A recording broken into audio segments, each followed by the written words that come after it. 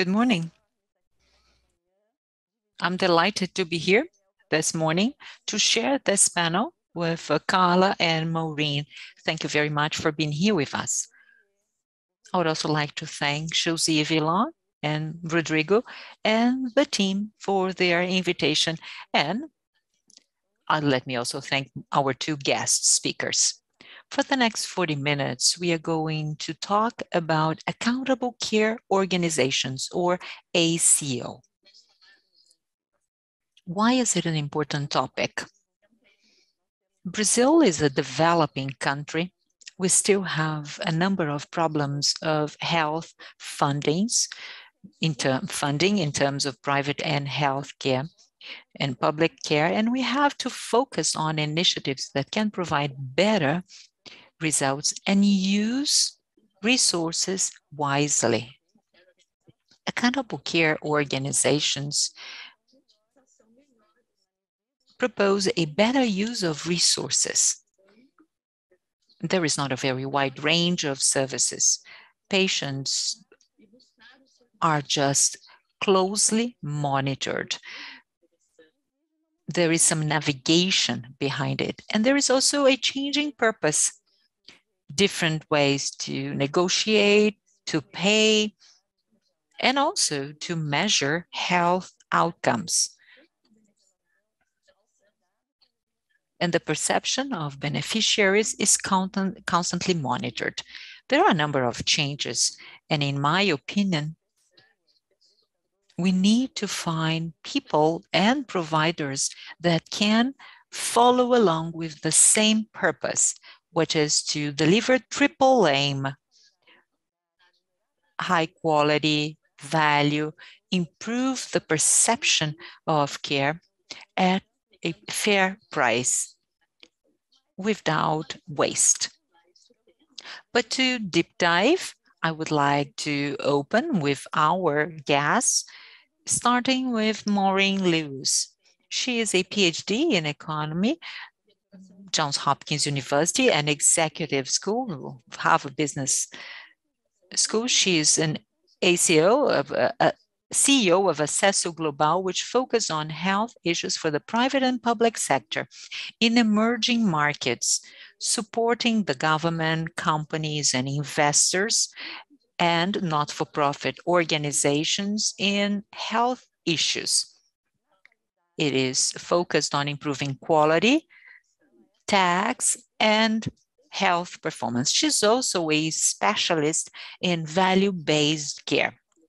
Before founding Aceso Global, she spent 20 years in the World Bank, where she has taken many positions. She was head uh, of human capital in uh, Europe, Asia, and key economies in Latin America and the Caribbean. She was a senior manager of the Center for Global Development, and before that, she was associate researcher of the Urban Institute. Working in Latin America, she also published a number of health books, also the impact of pandemic, HIV/AIDS economy, economy politics of health, and she has many Uh, papers published in different topics of uh, on health. So please check her publications online. She's a member of USAGA, ABS Gene, and also the Foreign Trade Board. Welcome, Dr. Lewis. Well, consider your experience, your knowledge in using ACO. What would be absolutely needed in an ACO to really deliver triple aim and everything else we have in mind? What are the paradigms that we have to break to be able to have successful ACO? How long does it take for it all to become a reality? Thank you very much, Vilma, and thank you for the organizing committee. I'm really glad to be part of this panel. I always like to speak in Brazil. I'd rather be in person than here, but well, anyway.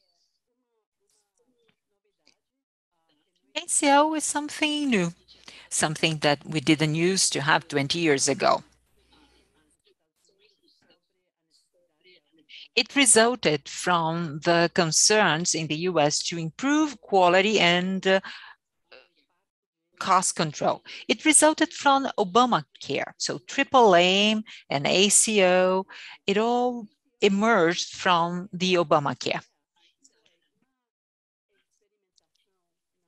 ACO resulted from experiment in improving the quality and really taking patient in center care. It emerged from physicians groups, which were not very good at managing. There was no uh, informatics, there was not enough information about what was going on. It started as a partnership between an HMO, for example, and physicians, and together they created an organization which provides more care, better management, which is absolutely essential, and focusing on triple aim, especially geared to primary care, and also bringing innovation in primary care services. Finally, it can only be achieved if there is an integrated information-based system with uh, patient information, funding, and also with a specific payment model to providers. In Brazil, it has always been fee-for-service. In this case, we have a partnership between the clinicians providing care and the management group, which is specialized in doing it. So this group of managers, they use... And it's not only when HMO, there might be different HMOs uh, partnering with this group of clinicians.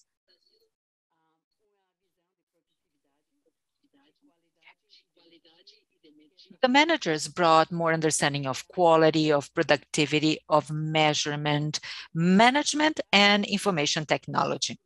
And finally, the payment model. So we have information technology, innovation in service provision, stronger management, and a different compensation model. We can talk more about all these pillars because they are all important, but let me start with compensation model. Everything, of course, has already uh, been tried in Brazil, but the pay-for-performance, for example, it's really important to bring incentives or bundle payment, which is another option, capitation or an overall budget for hospitals, but they are all correlated with information technology and also performance measures. Without that, there is no ACO. So these are the foundations to create an ACO. Without those elements, there is no effective ACO. So quality, patient monitoring, uh, outcome monitoring, these are all essential elements. Of course, we can go in more details, but this would be the fundamentals, in my opinion. Well, thank you. We'll definitely be back because you've addressed some points which I think we should deep dive.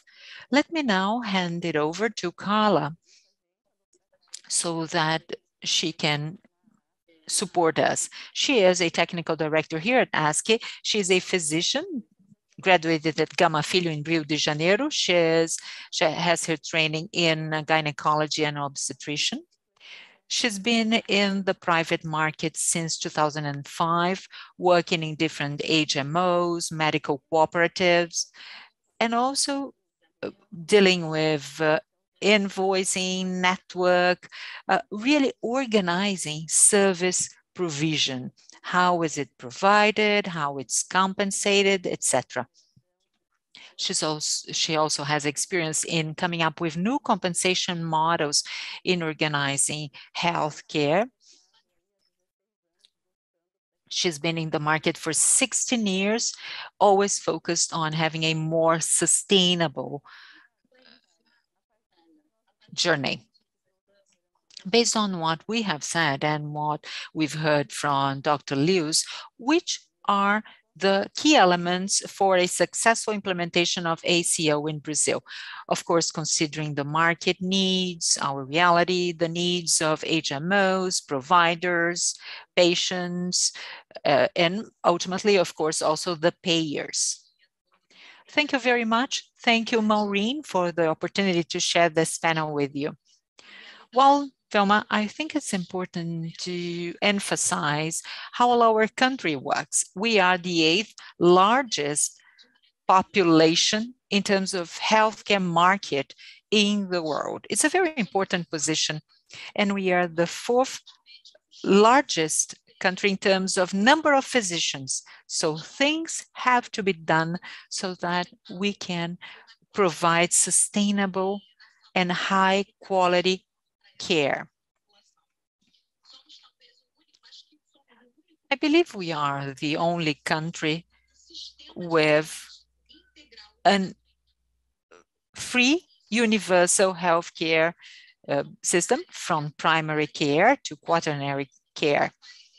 But there are 47 million lives also covered by private healthcare services.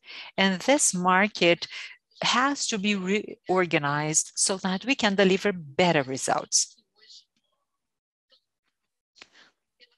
There is a profile of patients who are willing to demand quality, and I believe our physicians have realized that, and they are working together to provide better results to organize healthcare and to really have the ACO model implemented in Brazil, we should include exactly what Maureen has just said. Providers sharing the same concept of care with appropriate measurement and favorable outcomes from beginning to end, And as we are addressing such a large population, we also have to have population management. Uh, we really have to understand who we are caring for and the different regional differences.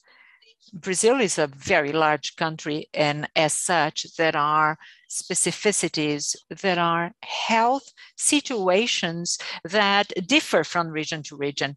And this is how we have to adjust our line of cares. But as you pointed out, Vilma, our technical team has to understand this change in philosophy. So appropriate uh, arrival of patients, health promotion, prevention of disease, and as such, we have, let's say, a well-known journey of care shared by patient and provider. As Maureen pointed out, it is also patient-centered care. Patients will be aware of what's going uh, to happen rather than just trying to find the best way to go. So we, we need an integrated team and all supported by technology so that everyone can be on the same page and know exactly what's happening with the patient in his or her journey. So these are the main pillars for, for us to really have a successful ACO in Brazil. There are two points that have really attracted my attention. The importance of measuring, also performance-based pay, so based on KPIs. So how can we adjust KPIs at primary care, secondary, tertiary care? How can we organize it? How can it be agreed with the players that are part of the ACO and using as a reference the U.S. and Brazil? Finally, how can we deal with the difference in performance? Because there are many clinicians, many providers, we are measuring their performance, and we might come across gaps, let's say, opportunities for improvement. How can we deal with them, considering the different providers in a in an ethical fashion so that we can really promote top quality care? You go first, Maureen, please.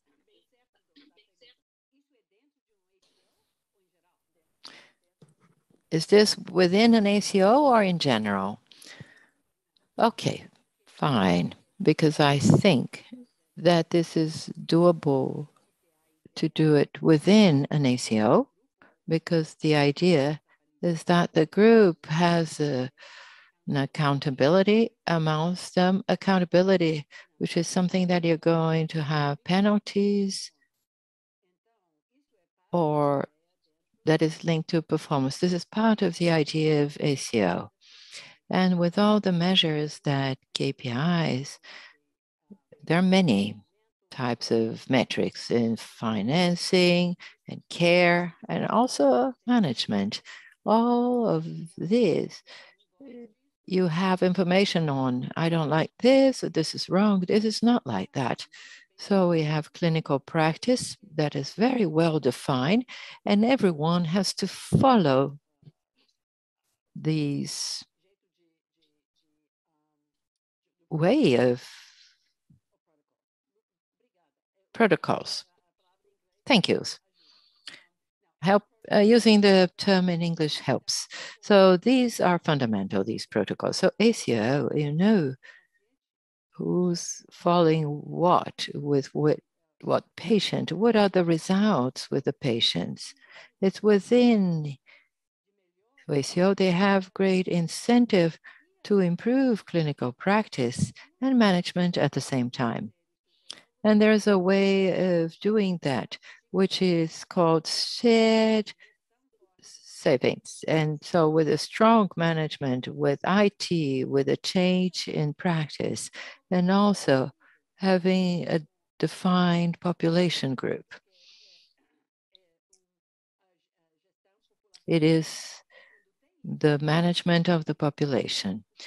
And when you have that, you know the savings you have compared to the previous year, the year before, and you know how much you're spending, and the quality of the service being provided. And when the service is better, differentiated and high quality, because part of this is uh, following up the patient. So there are patients that are healthier, so we don't use the system a lot, and the time passes, and this is split amongst the members of ACO, and they have an incentive of ensuring. So how are we going to manage that? And one thing I think is fundamental, which is quite different, the number of doctors. In ACOs, there are many more nurses than doctors. They do the management, the clinical part with the patients. They follow up the patients, and all of this improves improves the performance and also the quality for patients because they have more care that is cheaper with and the doctor and the group is gaining because time passes, and patients are gaining. Because there are fewer problems with gaps, with performance, because everything is defined. Perfect. Thank you, Maureen. Carla, your remarks. As Maureen puts it, if we have great navigators that are the nurses that create a bond with the patients and make them understand that the need is to talk with this bond first before seeking care. And I reference this treat service to uh, correct specialty if necessary. I create there a much appropriate care and much more satisfactory. The patient has better access. As we always uh, defend in this model, right, Maureen? Primary care is very present. The entrance door, primary healthcare being the entrance door for this model is essential. That's where I'm going to create all my indicators considering the portfolio that is serviced, the providers that are being part, whom I reference, the counter reference, and clinical outcomes will be much more appropriate. So I thus create an appropriate journey for this treatment.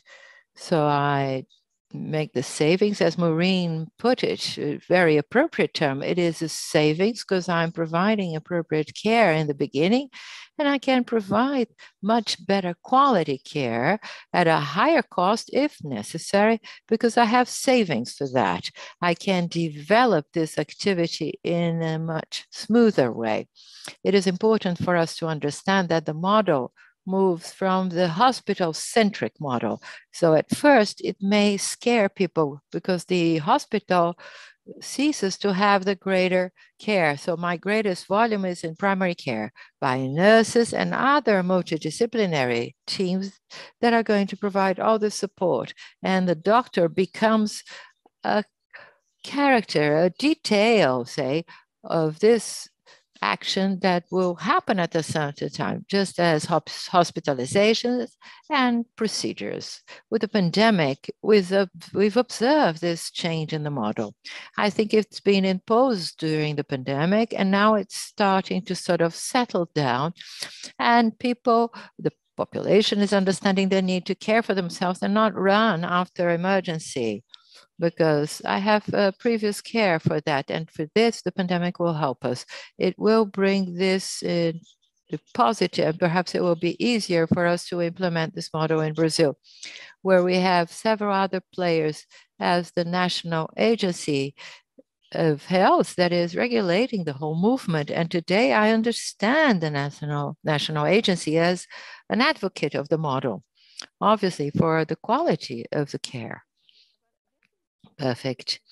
Within everything we're saying, people know that an ACO, we don't have a broad uh, network of service providers. We have an organized way with a smaller number of providers that are responsible for this population. Maureen, tell us a bit about the concept of providers in and providers out. When do we need to have providers out? When an ACO, when does an ACO hire a provider that for a given service that does not exist in the ACO? Who's in the ACO and who's out the ACO? Carla, if you want to add later, this for Brazil, how we can work on it. Thinking about this, addressing a bit the differences in the contracting of these players in the supply chain to enable an ACO to happen. Thank you. Interesting question.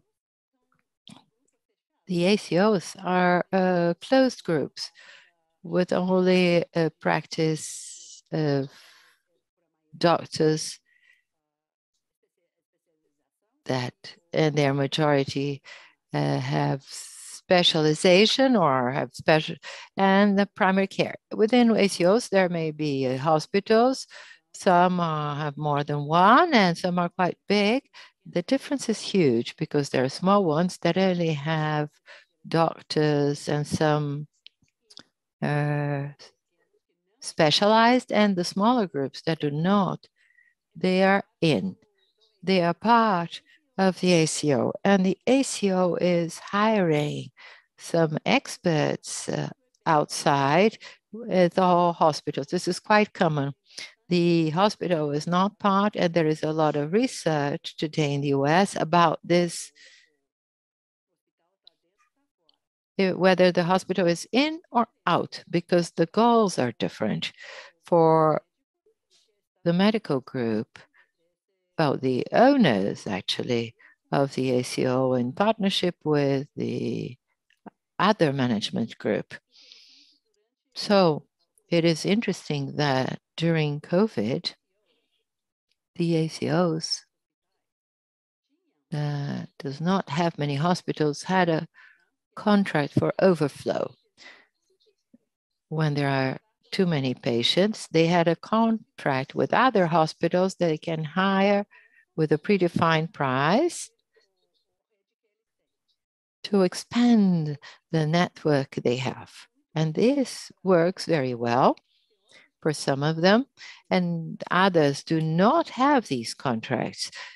They do not have these agreements, and they faced problems because they had to send to or refer to an emergency room that was out. And then this is not part or any more part of the ACO. So this definition of ACO, this is very important. You have to think about who's in and who's out. The ACO is not just doctors or hospitals or experts that want to work together. This is good, okay? But this is not ACO because we don't have this management and this IT, and there are non predefined activities in terms of in and out. And I think this is a topic that is being very much discussed in the US, but I think in Brazil it is fundamental because uh, Brazil is adapting new models to know what they are you are adapting. This is one of the lines that I think is important. Thank you, Maureen. Well, Carla, well, just sharing with everyone, we have the need to have a global coverage I cannot leave the patient without care. So within an ACO here, it is possible for me to have to hire differentiated services. So I have a provider, a large hospital, a general hospital, where I'm going to carry out most of my procedures, but I can hire using a term of hours or a credit specialized service outside this context, outside the providers. It would be an out provider, a contractor, so that I could have this kind of care. Examples for that uh, are great transplantations, coronary, very specialized coronary services, where, and even uh, emergency care when I have to have it and provide it because the portfolio is a bit more distantly relocated, but also in, always integrating information, reference against reference, access to that, and combined outcomes. And this is what we would be bringing here to our model. Right, Maureen, we've been working very much within a viewpoint of full ACO, hospital being inside. I had an opportunity of visiting a ACO in the US where there were hospitals of low complexity, primary, secondary care, and low complexity hospital. And they hired more hospitals of greater complexity. As you said, there are many evaluations of this in the US. Could you share with us a bit of these results of these evaluations, what you have what has been found when you have these different providers within the ACO, and then how can we deal with that? And for Carla, for us to work a bit on the KPIs. In Brazil, we do not have the culture of measuring the effectiveness of clinical outcomes and bringing them to an evidence to the extent that we have a different compensation according to the results. What challenges do we face to actually implement an ACO, taking that into consideration? Well, thank you. The, uh, about the studies, um, when there are hospitals of high complexity within an ACO, they have fewer than hospitals that do not have complexity in them because there is care or tension between incentives to the group of doctors and also for the HMOs or health insurance and those that use high complexity hospitals when they are in ACOs. So, and this provides a difficulty to improve quality and control, cost control. And so it's okay with that, but still they have uh, this, this design in ACOs because it varies. Remember, in the US, just like in Brazil, they have several uh, health insurance providers, medical groups, hospitals, and the ACOs are outlining a group amongst them to coordinate and create an ACO. We have a lot of people out and doctors in ACOs, they do things out, but most do not do that. But we have all kinds and sorts. And since the ACOs are working in various plan, in various health insurance, not only with partners, or only one or two. That's quite common. So I think that it is still a question that has to be tested, but there is a trend that shows that is better. It is better to have low complexity hospitals in ACOs. I'd like to touch something. This measurement that Vilma you're talking about is not is not common in the US, not everywhere. But this change uh, in the studies that have been carried out on low quality in the US system in the year 2000, this, all of this has greatly changed. This, I think, has been a change for the country and for health. And it's still, there is great variation, and I believe this will continue. It is common in systems like Brazil and the US with great innovation, a lot of creativity,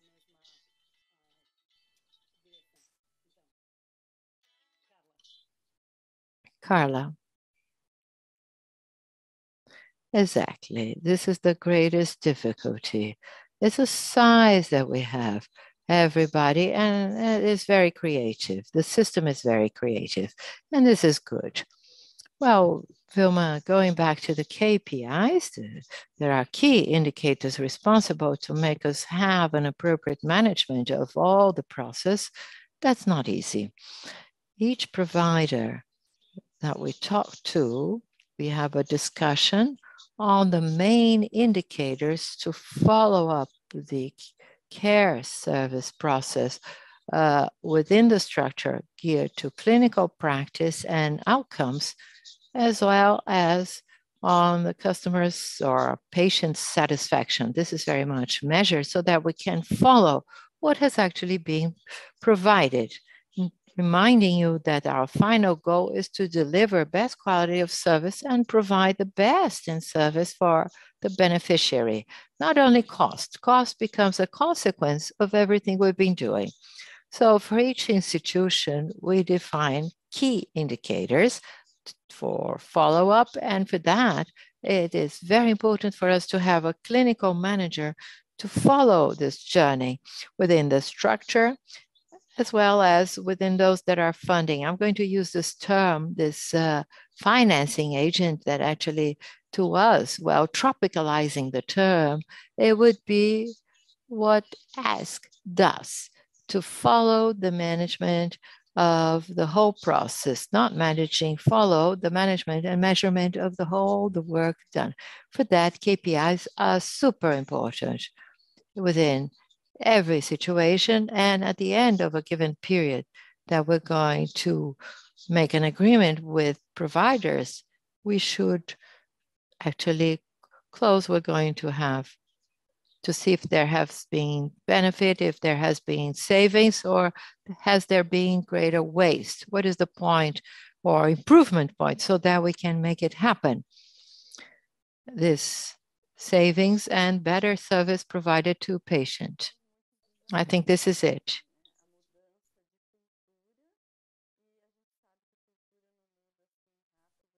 We no, there is a cultural thing. We know things cannot change for overnight.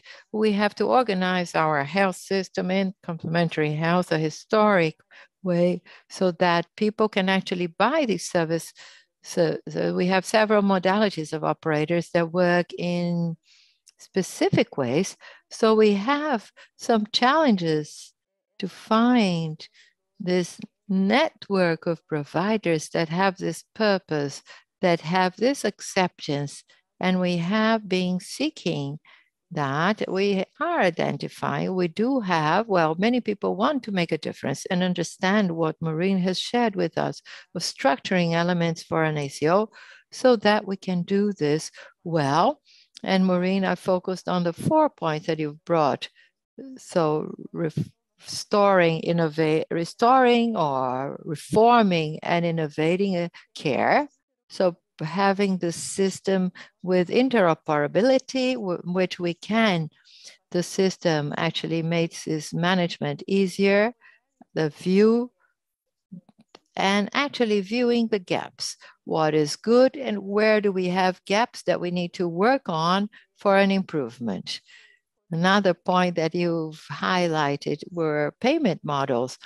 Yes, working with the payment for performance pay for performance, capitation, global budget for hospitals, which is another way of compensating that requires a study here too, and actually having this effective management. And here to us, it is important to talk about navigation. So the work that people do to so that we have appropriate time with the appropriate provider, the, with the culture of our population the cultural population is very much towards a lot of use of ER.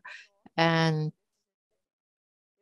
so we have to be very close to be able to make a difference. I thank you all and thank you FIS or FIS for the invitation. And I'd like to hand over to you for your one minute final remark. Thank you very much, Vilma.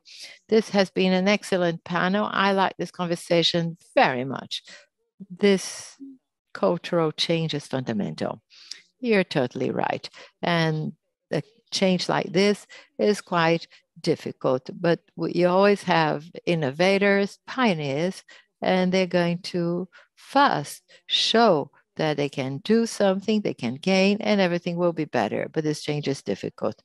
But you have already have elements of this in Brazil. So we have groups that are part of this. And I'm not going to talk about this because there's no time. But I think this experience of some of the closed plans, um, group medicine, some of them have elements of that that are quite important in Sao Paulo and Rio and Minas Gerais. And so I am very confident that in Brazil, you will be able to adapt this and experiment with it because this is the Brazilian way. And I think this model has great value in Brazil and throughout Latin America because this model is good for low income people and high income people. Uh, we see this in the US and also in the UK. So it is a model that has value for Brazil and for the population. So thank you very much. Carla, up to you. Thank you very much. I'm going to be very brief because I think we're about to end.